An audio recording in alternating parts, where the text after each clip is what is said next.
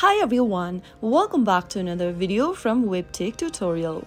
In today's episode, I'm gonna be showing you how to log into your Amazon Prime Video application. So let's get started. First of all, launch Open Prime Video application on your device. Soon after you do that, you will be able to see this login page. To sign into an existing account, make sure that you've selected the sign in already a customer option. Now, in the text box, enter your email address or the phone number registered with Amazon.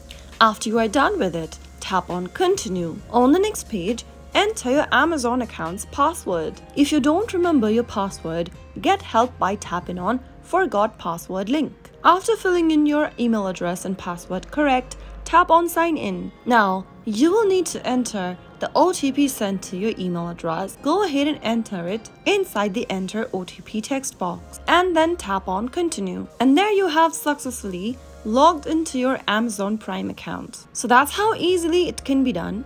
If you found the video to be helpful, go ahead and give us a thumbs up. Don't forget to subscribe to our channel by hitting the subscribe button. Also press on the bell icon so that you'll never miss another upcoming upload from us. I will be back again with the next video. Thank you for watching.